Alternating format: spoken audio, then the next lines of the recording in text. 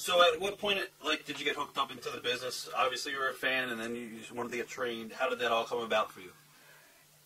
It wasn't easy because I, I, I said in the seminar last night, I'm not a second or third generation superstar. I had no friends or family in the business. I had no way of knowing the first. Actually, I worked at a record store. My one of my first jobs was at the record spot on Kensington Avenue. Right. And Dominic had pictures of all the wrestlers up on the wall. A really good guy.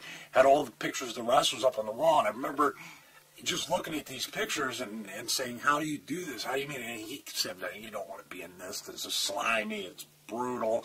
But he was friends with Dennis Coralluzzo. And I always tried to, to meet Dennis and tried to get advice. And, you know, most times if you're just a 15-year-old kid and you're asking advice, you know, nobody's gonna. They're just gonna brush it off and say, "No way." I mean, you know, people like Luke Hawx went through that. Everybody goes through it, Right. you know, when they're young.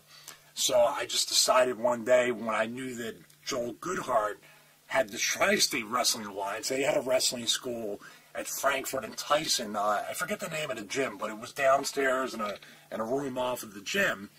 And I said, I, I know I want to do this for the rest, you know, the rest of my life. This is going to be my career. What can I do?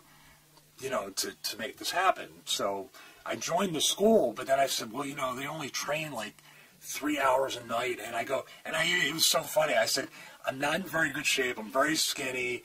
I, I know that I probably don't have the physical tools to do this, so I have to work extra hard. What can I do to give me that extra time that I'm not getting six to nine Monday, Wednesday, Monday, Tuesday, Wednesday, whatever? So I got a job at the Honda dealership a block away. How old were you on this period of time? Oh, this is skipping ahead. This is skipping ahead past high school. I was 18 years old, 19 years old. So when I finally decided to take the jump after high school, that's that's when I said, well, you know, I got to really go all in on this. So I got the job at the car dealership. So I used to go before work, practice my bumps, go after work when the school was open, work with everybody, like the people we're probably going to get into next. And then on the weekends when I was working, sneak in and take more bumps and just try to, man, man, if I can learn how to bump, I'm at least halfway there. Right, right. So Now, who were some of the guys that were the head trainers a- as far as like?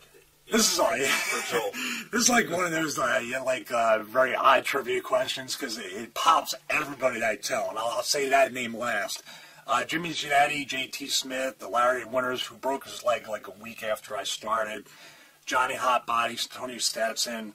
Uh, Hotbody wasn't very very good to me. Like he wasn't like testing me or doing anything. He was just a jerk to me. You know what I mean? It wasn't like he was trying to do it for my own good. I, I knew the difference at that point. Right. Tony, JT, Jimmy Jannetty, those guys were trying to break me in and trying to teach me, uh, you know, tough way, but not like Hot Body. And the last name that everybody, the Sandman. That's one of the guys. Nobody can ever get over that. The Sandman at one time was such an, an amazing wrestler. He could wrestle, he could work, and he had to unlearn all that stuff and become horrible in the ring to get himself super over, more over than I could ever be.